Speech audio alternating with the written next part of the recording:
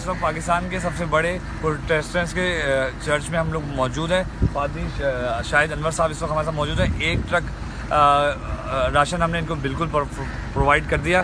पादरी साहब से बात करेंगे। मैंने हर खुदा को शुक्र करता हूँ कि G D C without any caste और रिलीजन ये खिदमत करती है खुद खुदाउन की और लोगों की और हम खुदाउन शुक्र करते हैं इस खूबसूरत रफाकत के लिए जो हम उनके साथ गायब करते हैं। और ये मोहब्बत की शेयरिंग, ये जफ़र बास एक ऐसे शख्स जिसने कराची को मोहब्बतों में जोड़ दिया है और हम खुदाउन का नहाय शुक्र गुजार हैं कराची की मोहब्बत के लिए।